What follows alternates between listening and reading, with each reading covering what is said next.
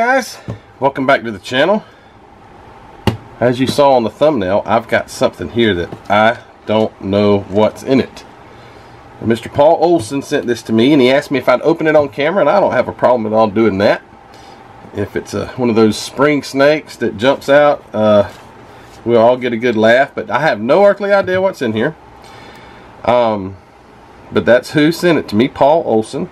Mr. Mr. Olson lives down in Florida and uh, I'm going to get to it but I'm not going to do it right now. This will be last. This is going to be cool. So first of all I want to recognize somebody that I do often. And that is David Carranza. David Carranza sends me a letter regularly like all the time. I get them all the time. David you are a faithful friend and supporter of my channel and I just want to say thank you so much um, for your observations that you make of the videos but you got to get caught up man. He's like so far behind on my videos. He's back in like last year still trying to catch up but anyway I'm just joking. Um, he asked me um, one of the last letters. I haven't opened this one yet to read it.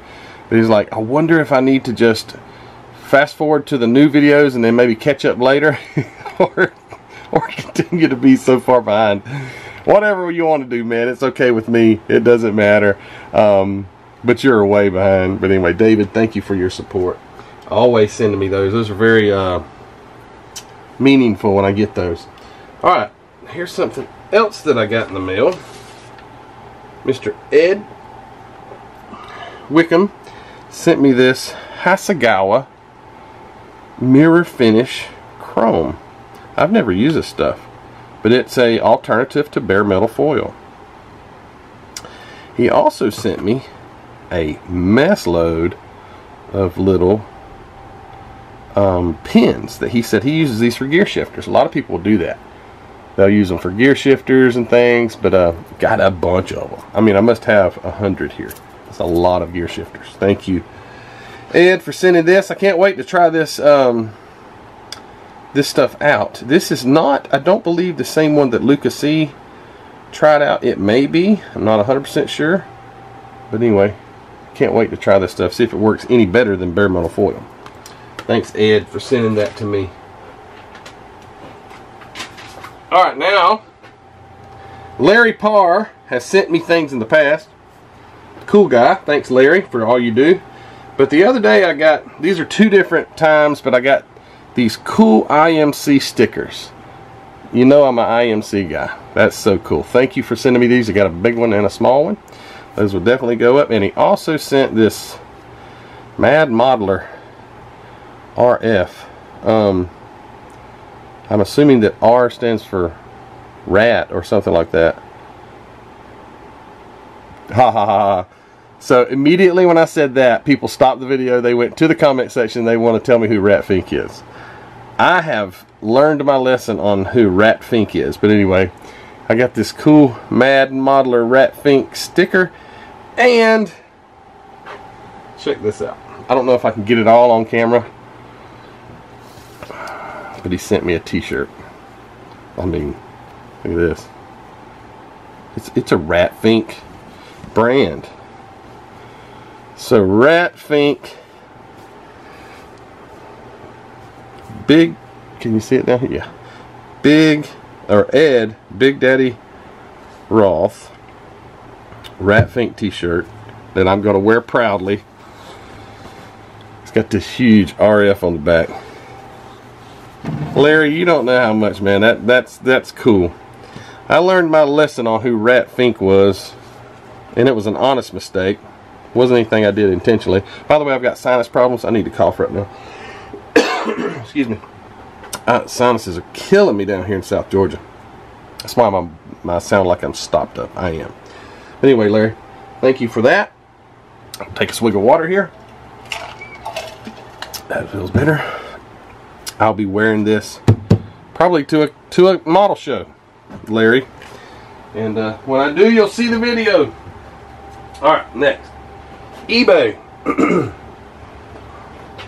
Got this on eBay. Just uh, came in yesterday. I think it was yesterday. So I got the 33 Cadillac Fleetwood V16 and I saw this kit and I'm like, dang, that's a 33 Chrysler. Doesn't have V16, it's got like a, it's either straight 8 or a straight 6. But I thought, man, those would look good together on a shelf. They're both, uh, anyway, 33 Chrysler Imperial Phaeton. But uh, cool kit, got it for pretty decent money. And I think these, uh, I, I, am not even going to try to pronounce it, but it's, it's that brand right there. It comes from Italy. Boxed by testers. It's a cool car. Got those big giant white walls just like the Cadillac. But I thought if I build these, these these would really look nice together on the shelf. So that's a new addition. I like tester's kits. I don't know. I'm intrigued by tester's kits. They box so they have boxed so many different things um, not counting the armor and the planes and the ships and everything else, but the just their auto stuff. It was so many different companies. They use Fujimi, um, all these other companies, and I just think they're in, uh, and the boxes look cool too. So they stack up nice. They're kind of thin. All right, another eBay find. I got this 57 Chevy Bel Air, um, 125th scale by AMT with the Steelies on it. I thought that looked pretty cool. Um, got it for decent money. It's a 2001 edition. It's a complete kit. Not missing anything. Because the last 57 I bought from eBay uh, came with missing some parts. But one of you guys, I forget your name, sent me those missing parts. And I'm so grateful for that. But I got another one to add to the collection of 57s. And here it is.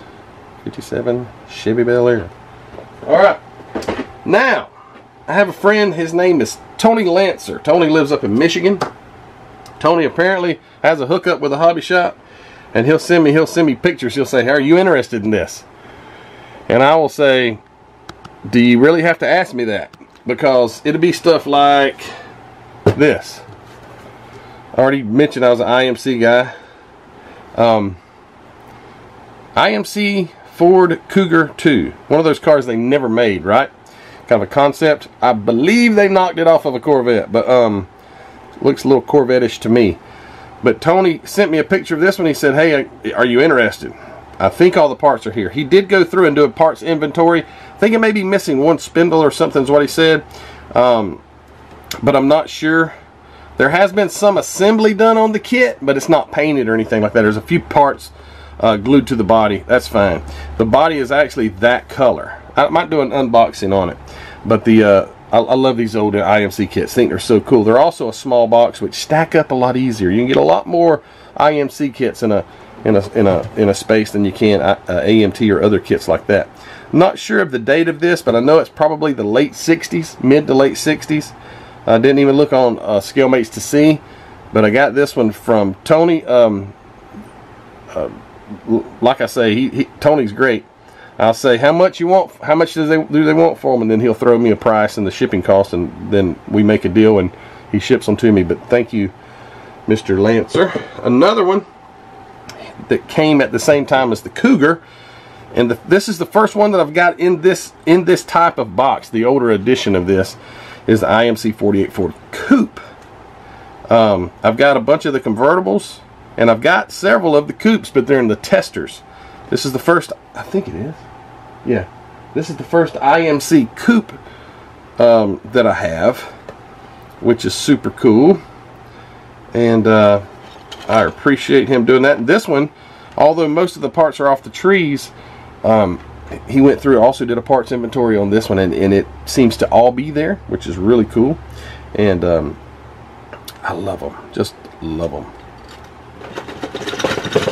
love that sound all right two more here Tony Lancer still. Same hobby shop, I guess. I don't know. But these were like, these hit my pocket a little harder, but but they were worth it to me. you know, you know I had to have another one of these. I think that only makes uh, about 15 that I got. Um, 48 Ford convertible IMC 1965 edition in original factory uh, plastic wrap to all you scoffers that say they didn't come wrapped, you're wrong. They did come wrapped. The uh, um, IMC kits came sealed. Um, yes, yes they did. Anyway, I know that just probably elevated the blood pressure of several people, but that's okay. It's my personal opinion. And I think I've got enough proof. But anyway, what am I talking about? 48 Ford convertible. Built one of these kits. It's terrible to build, but it was so much fun and it turned out so great. Um, again, I think it's a cool thing to go back in time by building a kit that a guy or a kid back in 1965 would have probably about halfway through taken and thrown against a, uh, a wall and busted to smithereens. But I was able to complete it and I think it's a great kit. I, I know it's difficult, poorly designed, great kit. And this is one that I did not have. IMC Ford Mustang 2, another one of those concept cars that never that never uh, went anywhere. As far as I know, they didn't. I mean, other than maybe concept, maybe drawing it on a picture, it never really really went anywhere. Um, but yeah, got got this one too, and it is also factory sealed. Oh, here's something written on it. I didn't even realize that. Something 91772 on the bottom of it. So it was somebody took a pencil and wrote on it. See, they had to tear the factory plastic wrap back to be able to wrap to write on it. But anyway, what's another thing is it says an industrial motive kit. Your like the the um 48 ones do say industrial motive here? Corporation? But like this one and the Cougar as well both say an industrial motive kit. And that's that's neat.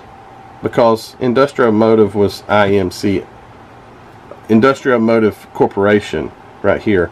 That's that is IMC so anyway thanks to Tony for uh, hooking me up with these and shipping them to me. Now for the uh, for the surprise. I don't have any idea again what's in this. I do see some color through here, but I don't know if that's just packing paper or what. But I see some color. But Mr. Olson asked if I'd open this on camera, and here we go. So drum roll, please. All right. Down one side. Down the other side down the middle without cutting anything important. And let's see what's in this thing. Okay. Oh yes, look at here. Look at here. What's he say here? Don't you like this plus build don't say Mr. Olson Thank you so much. Look at this, 1941 Ford Woody. I've actually built this kit before. It's a cool kit. Um, what's interesting about this kit is on my shelf is this exact kit. Same box art. It's one that my dad bought. Um, as I've mentioned before, my dad passed away in 2017. And uh, the, the kits that he had, he wanted me to have when he died. And I got those and and I have I have built this kit. I think different box art but the kit that's on my shelf right now is this exact one and um yeah that's that's that's neat. Thank you for for sending me this because now I don't have to even consider busting open the kit that my dad saved which is still in the uh, cellophane. I can take this kit and build it and this is an outstanding kit to build. It's a little fiddly. Um, excuse me. A little fiddly when it comes to the interior, the inner panels and stuff like that. But it is an excellent kit. And I might have to do this one again because on the one that I did originally, uh, yeah, there it is over there. I painted the chrome with um, with chrome paint, and I didn't bare metal foil it. And I think it looks much better with foil. So maybe I need to go and um, uh, and, and foil one and do a different color. Maybe maybe hot rodded. I don't know. But um, Mr. Olson said, thought you'd like this. Please build it. Don't save it. You know you're really getting to me there, Mr. Olson, when you're telling me to build it, don't save it, because you know I love to save these things. Um, they are as much fun to me to collect and to come in here and look at as they are for me to build but Um, as your wish, I will build this kit.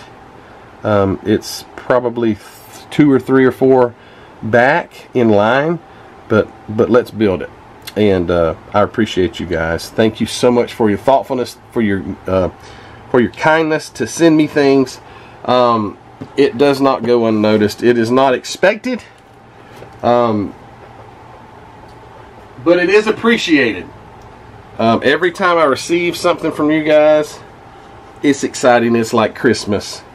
And uh, thank you so much for all you guys do. Um, if you have not already subscribed to Model Car Videos, please go hit the subscription button. I'm nearing 10,000 subscribers. Excuse me. Once I get to 10,000 subscribers, I'm going to have some sort of giveaway. It's going to be great. I don't know what it is yet.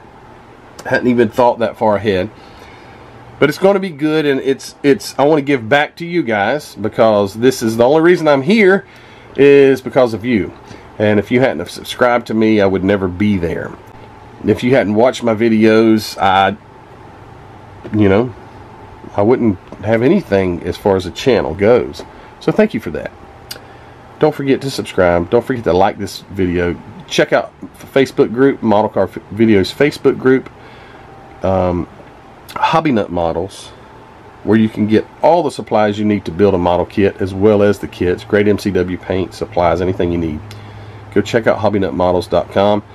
The Teespring store or the Spring store, go grab yourself a t-shirt. I don't have Rat Fink t-shirts because I don't own the licensing, licensing, licensing to that. But I do have Model Car Videos t-shirts and coffee mugs and stickers and things like that. Go grab yourself one of those. Help support the channel. And you Patreon members, thank you so much for all you do. Um, means a lot to me to have support from you guys. But anyway, um, all those things are linked in the description below this video, as well as my email. If you want to email me, some of you guys like to email me rather than comment in the videos, and that's fine. Um, uh, it, the YouTube comment section is a little restrictive as far as giving websites and things like that. So if you want to email me, do that. Feel free to. Anyway, guys, thanks for watching, and uh, maybe next time I won't sound so stuffed up. I don't want to be this way. It's terrible. But uh, you guys take care, and we'll see you on the next one. Take care.